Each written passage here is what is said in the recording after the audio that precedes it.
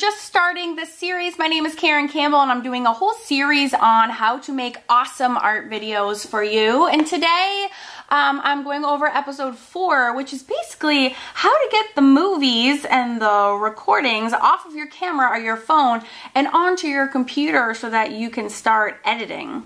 Now, I generally always use my camera. This is actually not the camera that I use, but it could be. Um, and I need to get, you know, the things out of here and out of here and on to there. Now it can be a little confusing. I have an Android phone and I'm using and I use a Mac computer. So they don't talk to each other as nicely as if I had an iPhone and I had a Mac because then I could share it over the cloud. But there's tons of workarounds so don't let that stop you from recording and getting those movies off of your devices and onto your computer. So what I do if I am recording with with my phone, which I do not recommend, but if you do, all you have to do is select the little movie clip that you made, okay? And then see that little share icon at the bottom. Let me pull that up. There's a little share icon at the bottom. Okay, if you hit that, if it would stop going away, that would be awesome. Okay, it brings up a whole variety of ways and things that you can share onto. So because I'm using a Mac again and I have an Android phone, I typically, well, I have a couple of choices. I could unload it to my Dropbox. If you have a Dropbox account, you can add it to a Dropbox and then open Dropbox on your computer and just simply drag and drop the files off that way. Um, my Dropbox is full at the moment, so I can't use that option. But a great easy option that works every time is to save it to your Google Drive.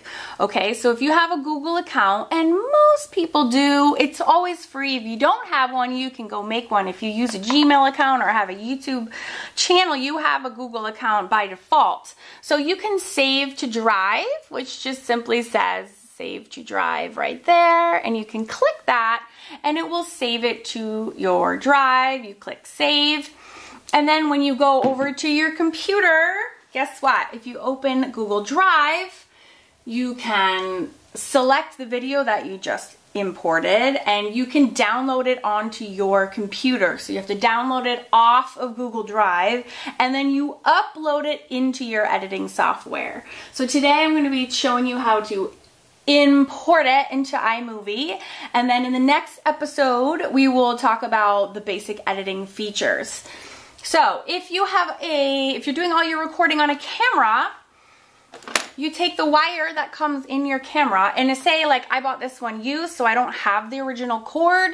These are all standardized options. You could even like take your camera to Best Buy, show them the little show them your input that you need and say, hey, I need a cable that matches the input of my camera. Do you sell that? They will say yes, and you can grab one.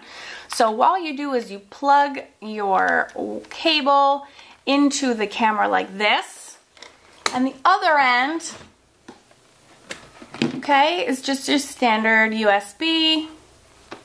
And it plugs into one of the many switches on the back. And if you have a PC, you'll have the same options on your hard drive.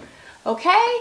And then when I will, when I go to iMovie, or when you go to Movie Maker, or whatever your software is, I always plug it in when my camera is off. And then when I turn the power on the camera, my computer will automatically detect that there's a, a, new technology that's connected there and it will allow you to select the videos that you want to download onto your computer. And so that's a direct download and for me that's always the easiest, quickest, surefire way to do it. Google Drive is a little you need a little bit of patience. It takes a while to download those video files, especially if they're long.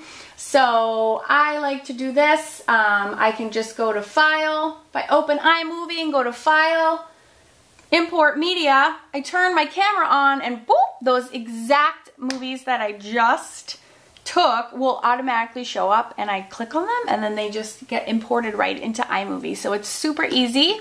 And in the next video, um, you can watch as I actually do that and we will start doing some basic editing um, elements like we're gonna do transitions and how to set up a title and get time lapse working and captions and um, all the all the fun bells and whistles. So I hope you join me in episode five and we will get going on that. Um, again, as a recap, these whole series of videos are going to be kept in a playlist on my YouTube channel as well as for free at awesomeartschool.com. So go ahead and sign up for easy access to that and I'll see you in episode 5. Thanks.